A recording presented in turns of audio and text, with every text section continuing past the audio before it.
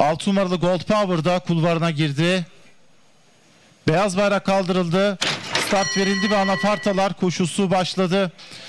Orta kulvardan gelen 9 numaralı Grand Treasure koşudaki liderliği aldı. Hemen dışında 2 numaralı Ascot geliyor ve Asfart'ta 2 numaralı Ascot liderliği alıyor.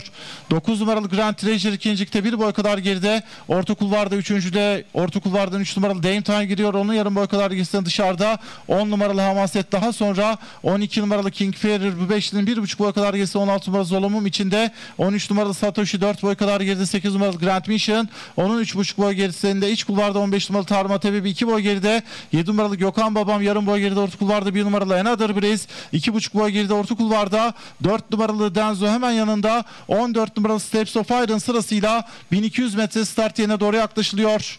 İç kulvar akın 2 numaralı Ascot yine önde fark 1,5 boy kadar 3 numaralı Dame Time ikinciliğe girdi. 1 boy geride içeride 9 numaralı Grand Treasure 1 boy kadar geride. Oltun Orta kulvarda 12 numaralı King Ferrer daha sonra içeride 10 numaralı Hamaset 1 boy geride 16 numaralı Zolomum içinde.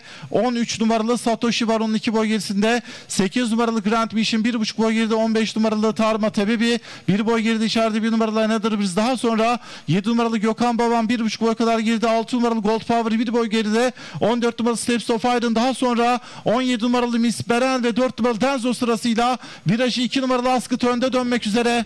2 boy gerisinde 3 numaralı Dame Time ikinci hemen içinde 9 numaralı Grand Treasure 4 boy kadar geride 12 numaralı King Ferry daha sonra orta kulvarda 10 numaralı Hamaset içinde 13 numaralı Satoshi sırasıyla son 400 metreye gidiyor. İç kulvarda 2 numaralı Ascot önde. Fark 3 boy kadar dışarıda. 9 numaralı Grand Treasure ikincilikte fark azaltmaya çalışıyor içeriden. 13 numaralı Satoshi'nin 8 numaralı Grand Mission daha geriden. 3 numaralı Dame Time'ın atakları var. Fark 4 boy kadar son 200 metreye gidiyor.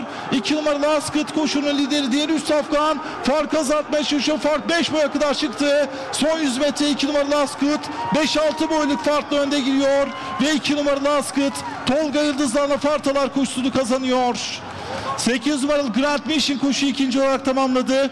13 numaralı Satoshi, 4 numaralı Denzo ve dışlarına gelen 7 numaralı Gökhan Babam arasındaki üçüncülük kararı var hakemlerine kaldı.